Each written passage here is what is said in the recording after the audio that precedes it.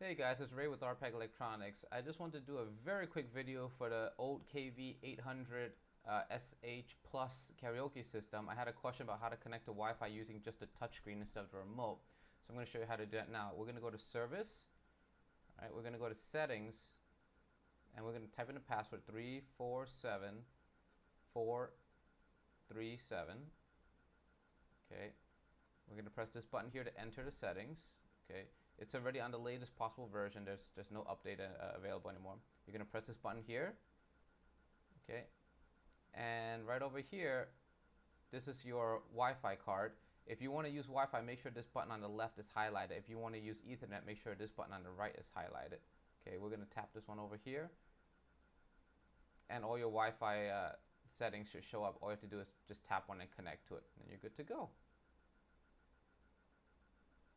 All right, that's about it. Please comment below if you have any other questions or want to see any other demos with the KV800.